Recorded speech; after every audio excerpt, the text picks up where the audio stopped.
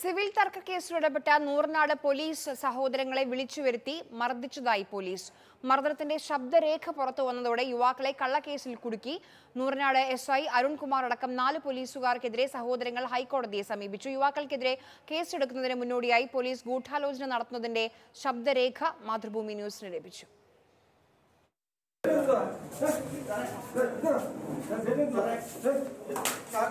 സാറേ ചുമ്മാ തല്ലല്ലേ?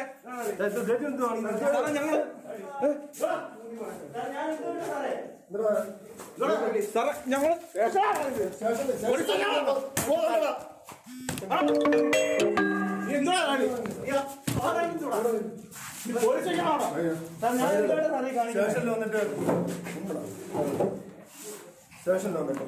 ചങ്ങനാശ്ശേരിയിൽ ഫർണിച്ചർ കട നടത്തിയിരുന്ന സഹോദരങ്ങളായ ഷാമോനും ഷജിനുമാണ് നൂറനാട് പോലീസിന്റെ ക്രൂരമർദ്ദനത്തിന് ഇരയായതായി ഹൈക്കോടതിയെ സമീപിച്ചത്.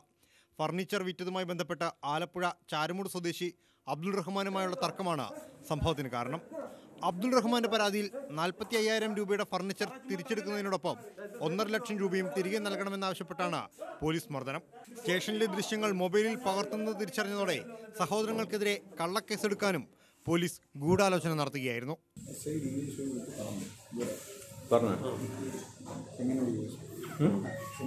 അത് പിടിച്ച് അദ്ദേഹത്തിനെ പിടിച്ച് തെള്ളി. അപ്പോൾ കൂടെ അടുത്തുണ്ടായിരുന്നു. സ്വാഭാവികമാണല്ലോ വീഡിയോ എല്ലാം ഉണ്ടാക്കി. ഇത് എസ് ഐ പിടിച്ചുള്ള ഭാഗം കാണുമല്ലോ.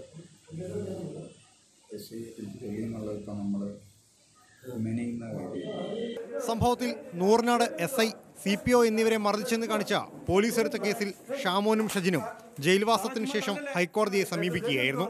Nooranad S I V R Arunkumar C P ഒമാരായ Shanavas Sreekumar Rajikumar Manoj എന്നിവർക്കെതിരെയാണ് ഹൈക്കോടതിയിൽ റിട്ട് സമർപ്പിച്ചത്. സിവിൽ കേസിൽ പോലീസ് ഇടപെടൽ പാടില്ലെന്നും ഡ്യൂട്ടി തടസ്സപ്പെടുത്തിയെന്ന വകുപ്പ് അനാവശ്യമായി ചുമത്തരുതെന്നും ഹൈക്കോടതി നിർദ്ദേശം നിലനിൽക്കെയാണ് നൂറിനാട് പോലീസിന്റെ മർദ്ദനമുറ. ലാൽകൃഷ്ണൻ മാതൃഭൂമി ന്യൂസ് കൊച്ചി.